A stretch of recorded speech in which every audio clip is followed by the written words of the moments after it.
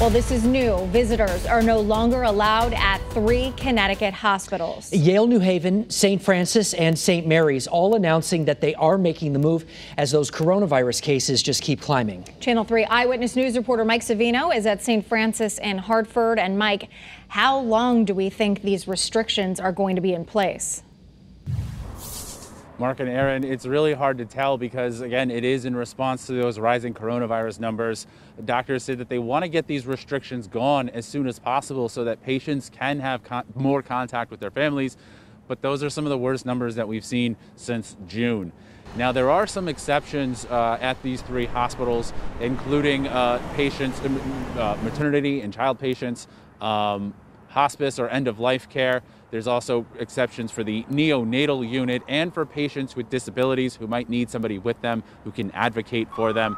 But again, for the foreseeable future, the, these uh, restrictions will be in place. Doctors saying that we need to move quickly to get ahead of these numbers. One uh, benefit is that uh, they've invested in technology that allows patients to have more contact with their families.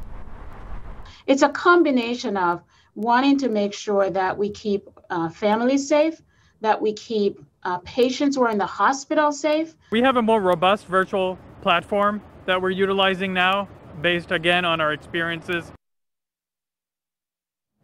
now, not every hospital is making this switch yet, but of course they are all watching these numbers. I talked with a doctor today at Hartford Healthcare who says that they want to make sure that patients can have contact with their families as long as possible because that produces the best possible outcomes. But this could all change anytime. So the best advice that they have for anybody who's planning a visit to a loved one in a hospital, make sure you continue to check in because at any time, any hospital could make a similar change. Live from Hartford, Mike Savino, Channel 3 Eyewitness News.